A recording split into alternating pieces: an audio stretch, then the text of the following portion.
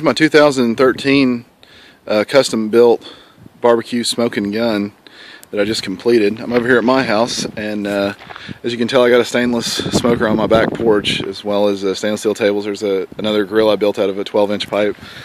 I'm pretty interested in smokers and been, been making quite a few of them. Um, here we go. I'm going to run it down for you. This is a military shell I've got with a acetylene bottle cap on it to simulate one of the bullets that would actually go in the gun. All the bottle caps are oxygen bottle caps for heads of bullets. It's a six inch pipe recessed in there with a quarter inch plate on the outside of the cylinder. It's uh, fully welded. The barrel's an eight inch pipe. I've got a front sight on it and I've even put a cap on it to simulate an actual gun barrel.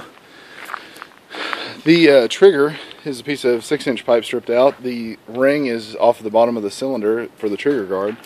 I've got a valve right here for the drain on the main cylinder because you're going to build up and accumulate some grease in there.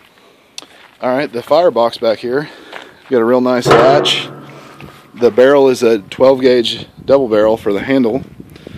You open that, you get to see the uh, grating which as you can see I've already had a fire in this unit and, and burned it out and checked it as well as temperature control.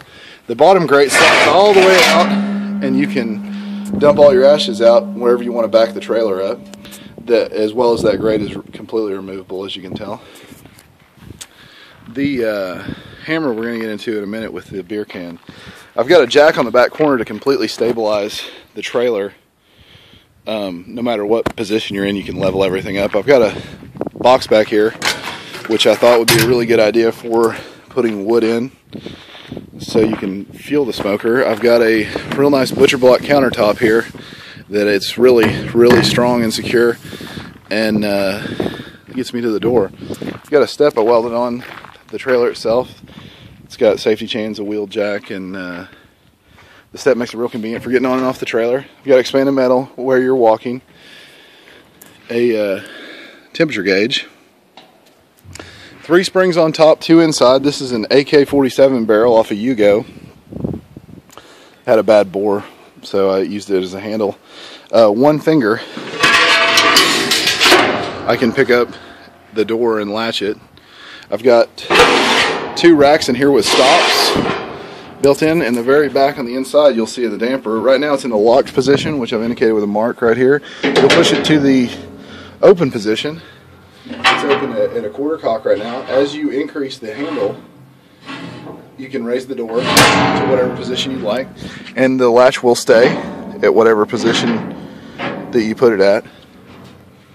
When the handle is all the way down and then slid into the forward position, it completely latches the door and the door is sealed. There's our drain at the bottom. And I make provisions for an extra rack if you might need one. The racks slide all the way in. They are completely removable once you reach the end of the the end of the line.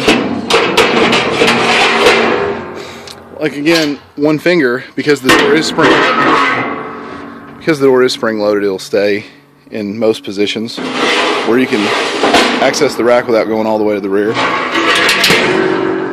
Got a really good seal on the door because uh, I was able to strip it out in multiple pieces and weld it out. The uh, grand finale right here I'm gonna try to do it with a camera in my hand. I've got an empty can and I've got a hammer set up. So the can goes in the hammer setup. I'm gonna get to the side where I get a good shot.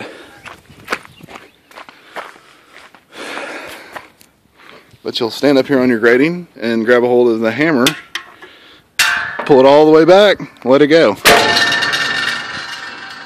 And I left drainage lines on either side of the, the mount so that it could drain. And uh, you've got a beer can crusher, which is pretty awesome.